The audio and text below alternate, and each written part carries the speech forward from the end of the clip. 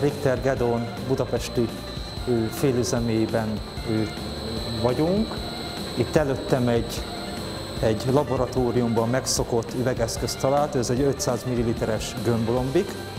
Ebben a készülékben, amennyiben 5 g-os kísérletet hajtunk végre, hónapok után hogyan vagyunk képesek az optimált technológiát utána a mellettem található 250 literes autóklávba áttranszferálni. Szeretnék beszélni a kutatás és a fejlesztés közötti legnagyobb különbségekről. Tehát azt, mint láttátok, amikor a, bemegyünk egy laboratóriumban, és ott elszívó fülk alatt egy kutató egy 1-2 grammos kísérletet feltesz, ha szerencséje van, már az első próbálkozásából az általa ő kívánt minőségű, illetve mennyiségű anyag előáll.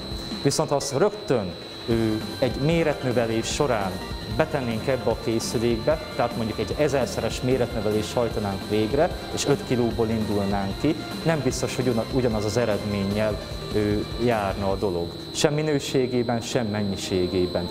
A kollega segítségével be fogok mutatni most egy úgynevezett sarzsírozást, mely szó azt jelenti, hogy a szükséges hozzávalókat a reaktorba ő, bele fogjuk helyezni.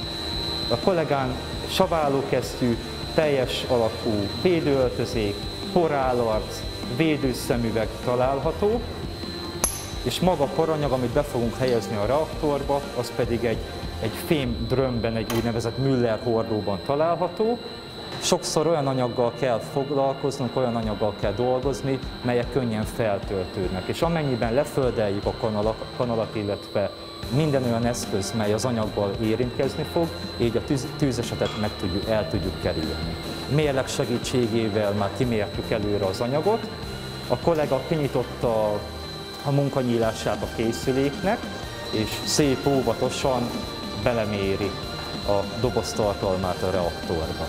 Amennyi, amennyiben ennek vége van, utána visszazárja a munkanyílást, majd utána az itt található eszköz, műszerek segítségével beállítja a keverésnek a fordulatszámát, illetve a reaktor tartalmának a hőmérsékletét. A munkánkban azért nagyon nagy felelősség kell, felelősségtudat kell, amikor már félüzemben kell dolgozni.